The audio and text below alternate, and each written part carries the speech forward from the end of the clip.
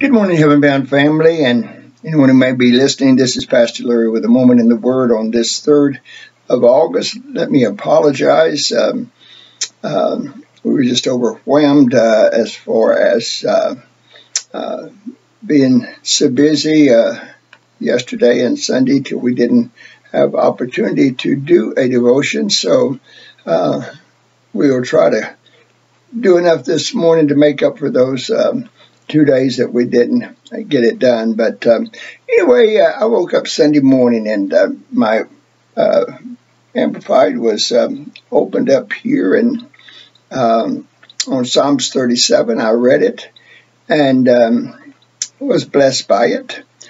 Um, came in this morning and the Bible was closed. I just reached over, opened it up, and it opened up to Psalms 37 again.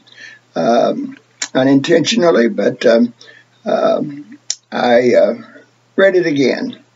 And um, this time I underlined some things and I want to share some verses with you. Uh, hopefully that will bless you today and um, uh, will strengthen you. I, I, look at verse 1. He says, Fret not yourself because of evildoers, neither be envious against those who work unrighteousness. And the Amplified uh, has parentheses there, that which is not upright or in right standing with God.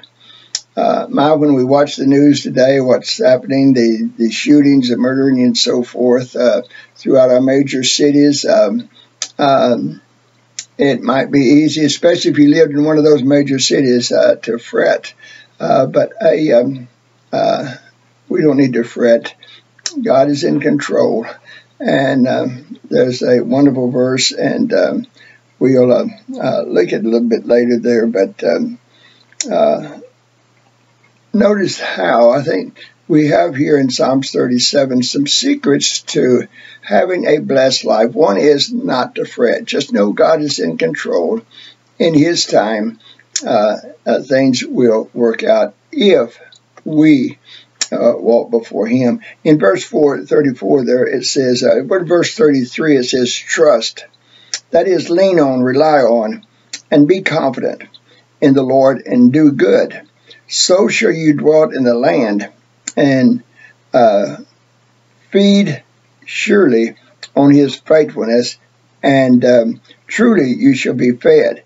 Notice verse 4 there, it says, Delight yourself also in the Lord, and he will give you the desires and the secrets of petitions of your heart. Commit your ways to the Lord, verse 5 says.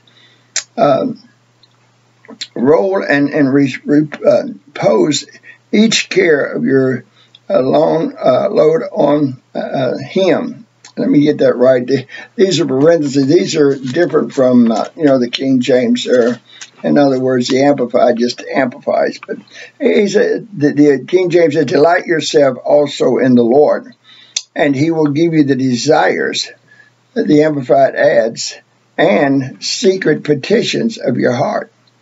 Uh, King James, commit yourselves, uh, commit your ways to the Lord.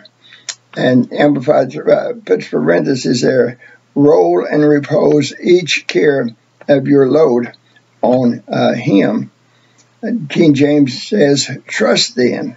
Um, that is, lean on, rely on, and be confident also in Him that he will bring it to pass.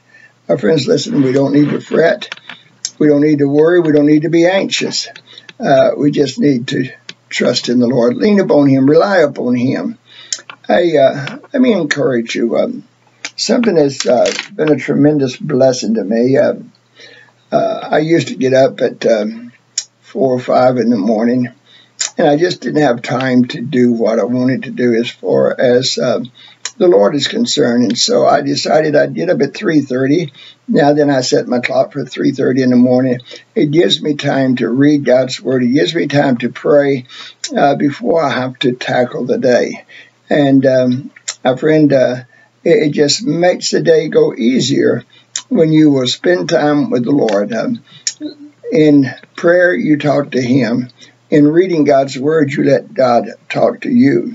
Uh, it goes on down in verse 7, it said, Be still, rest in the Lord, wait for him, and patiently lean yourself upon him. Fret not yourself because of him who prospers in his way, because of the man who brings wicked devices to pass. Sometimes it's easy, Satan will draw our attention to the evildoers and um, uh, how they are prospering. Uh, you know, we, we think of all of the drug dealers uh, who is, um, uh, especially the cartel there in Mexico, it's getting making millions, we understand, off of the migrants that uh, come up from South America trying to get into our country here. And um, uh, we can look at that from a number of ways. Number one, understand God is going to deal with them. Uh, vengeance is mine, I'll repay, saith the Lord. So God will deal with them. And that's not taking away anything from our Border Patrol, from our law enforcement. Uh, as they have opportunity to deal with them, certainly they will and should. Uh, uh but uh, the thing is that we want to um, uh, impress upon you is that um, when we uh, spend time in God's Word. We learn to lean on Him, to trust in Him, to rely upon Him. Uh, I am totally convinced nothing is going to happen to me today that's not for my good. How do I know that? I don't know what today holds. Got to take Lois uh, to Muskogee today. I Have a car wreck on the way.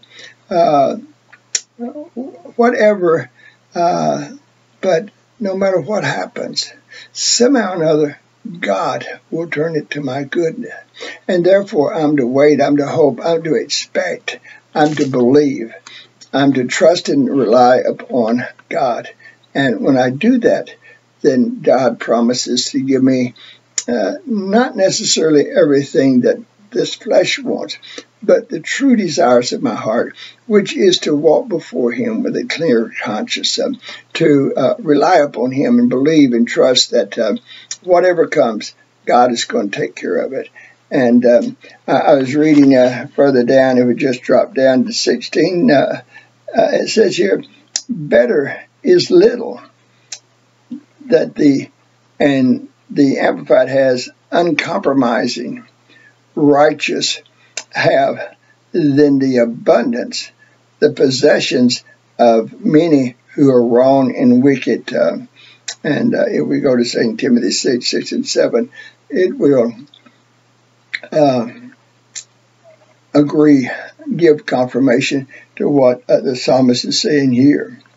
Uh, down in verse 23, it says, The steps of a good man, uh, parenthesis, good by the Amplified, the steps of a man, a good man, are directed and established by the Lord. When he delights in his way and he um, uh, busies himself with his every step, though he fail, he shall not be utterly cast down. For the Lord uh, grasps his hand in support and upholds him.